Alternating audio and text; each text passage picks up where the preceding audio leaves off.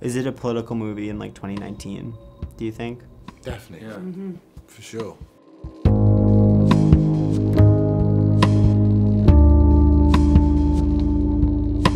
I'm pleased to report that the situation in Chernobyl is stable.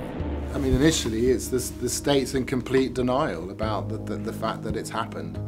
Um, and they, the, the, the science of it is not convenient to their political truth.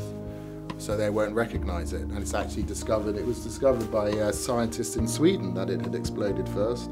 And the Americans put a satellite over it and saw that it took pictures, and then the news of it comes out in the West before it comes out in the Soviet Union. And they're still refusing to believe that it's happened. It's when, when you know when when truth becomes a shifting feast. You know, it's not fine, absolute, Yeah. and the state is saying, you know, is blatantly lying. Then it's you know when nobody's listening to the scientists. It's an incredibly toxic, dangerous situation. A little bit like mm. now. Yeah, fake news, etc. Well, well the, the, you know, the, the struggle that climate scientists are still having and being taken seriously.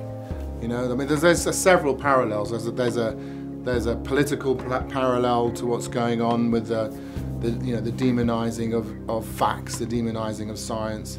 And then there's, um, there's an environmental parallel. Yeah, there's several parallels.